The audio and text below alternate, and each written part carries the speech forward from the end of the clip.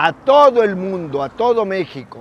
Aquí es la entrada principal de la refinería Olmeca de Dos Bocas en Paraíso, Tabasco. Esta refinería que es obra ya emblemática de Andrés Manuel López Obrador como el gran presidente de la República y muy orgullosamente Choco.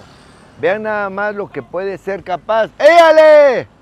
Lo que puede ser capaz la voluntad de luchar por el país como lo ha hecho López Obrador.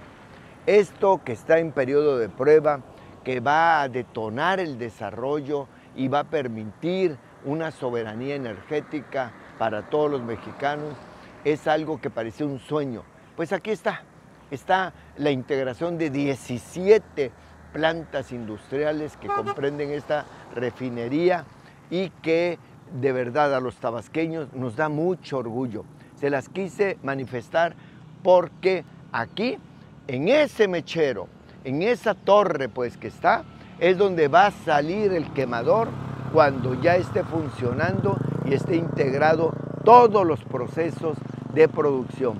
Así que vamos a reconocerle a López Obrador, vamos a reconocerle a los trabajadores petroleros y de la construcción y los tabasqueños estamos muy orgullosos de esta monumental obra. Y también le vamos a pedir a la federación, al gobierno del estado, a los municipios que hagan una obra integral de reordenamiento urbano para Paraíso, para que aquí se tenga una calidad de vida y que la refinería sea simplemente el motor del desarrollo. Mira, tú conoces a Cantón, sí, trabajando.